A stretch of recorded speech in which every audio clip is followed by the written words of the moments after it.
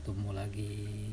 Apa kabar? Semoga semua dalam keadaan sehat walafiat dan banyak rezeki. Oke teman-teman, kali ini kita akan bercerita mengenai seekor ulat. Awalnya saya tidak terlalu tertarik dengan ulat ini karena ukurannya yang cukup kecil ya, hanya sekitar separuh dari korek api lidi, teman-teman. Ulat berwarna hijau ini saya temukan di antara dedaunan kering. Awalnya saya tidak terlalu tertarik ya. Tapi setelah saya amati kok ulatnya memiliki bentuk yang cukup unik. Terutama pada bagian kepalanya. Ulat ini memiliki empat semacam tanduk ya, ada empat buah tanduk yang dua tanduk di bagian bawah seperti tanduk kerbau kemudian yang di atas menyerupai tanduk rusa.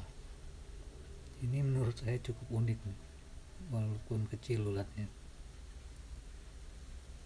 Akhirnya saya coba untuk melihat lebih dekat menggunakan zoom fasilitas zoom yang ada di kamera handphone. Dan inilah hasilnya. Mungkin tidak terlalu bisa diperbesar ya karena kemampuan zoom kamera handphone yang terbatas. Tapi paling tidak lumayan lah untuk melihat secara lebih dekat bagaimana uniknya wajah ulat ini. Oke teman-teman selamat menyaksikan